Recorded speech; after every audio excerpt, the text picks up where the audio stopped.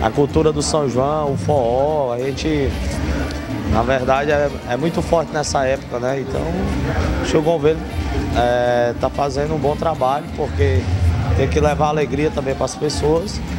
E a gente é, se sente muito honrado estar aqui numa data, né? Do São João.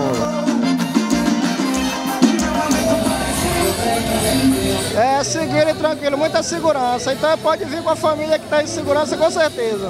apreciar também a cultura local, que eu gosto muito, do, do Bumba Meu Boi, da dança portuguesa, do cacuriá.